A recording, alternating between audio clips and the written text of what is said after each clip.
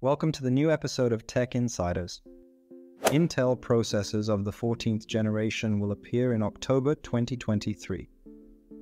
The Chinese edition of Enthusiastic Citizen, citing an unpublished Intel roadmap, said that from October 17th to 23, 2023, the company will introduce a new generation of Meteor Lake desktop processors. The K versions will appear first and then the regular ones. The new chips will be compatible with the LGA 1700 socket and the existing BIOS version except for Core i7 14700K. It will get 8 productive and 12 energy efficient cores and will require a new firmware version.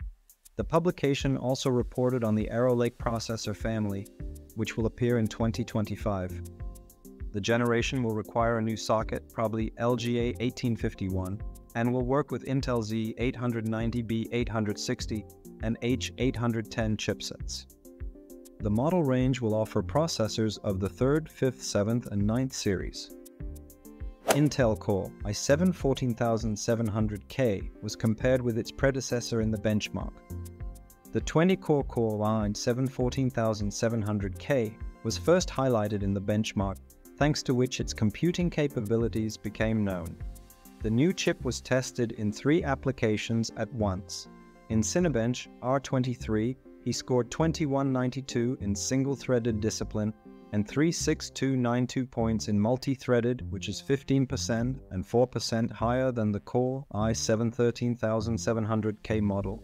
In similar tests when running CPU-Z, the results were 905 and 14988, which is 14% and 2% more compared to its predecessor. It is known that Intel Core i7 14700K will receive 20 cores and 28 threads, and its base clock frequency will be 3.4 GHz. Insiders also report the presence of 28 megabytes of L2 cache memory and 33 megabytes of L3 cache. I9 14900KS will receive a frequency of 6.2 GHz.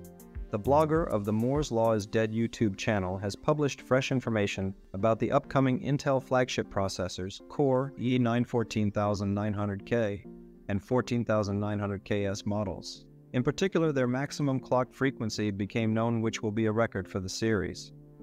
According to the source, the senior representatives of the Meteor Lake family will noticeably surpass their predecessors in one of the key characteristics.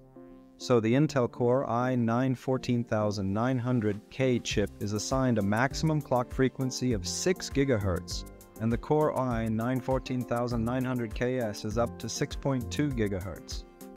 The release of new products is expected in the fall of this year,